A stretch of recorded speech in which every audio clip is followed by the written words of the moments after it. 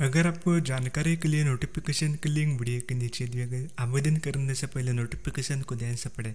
और daily job update के लिए चैनल को सब्सक्राइब करें ताकि सभी जॉब अपडेट डेली मिलते रहे।